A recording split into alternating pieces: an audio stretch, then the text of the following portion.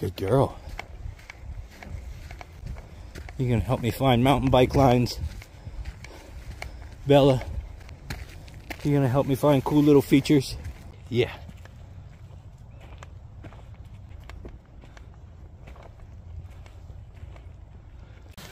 Oop, hold on, Bella. It's a mountain bike line. You drop from way up there, and then you ride this down, and come down right through here. I'm riding that tomorrow, Bella.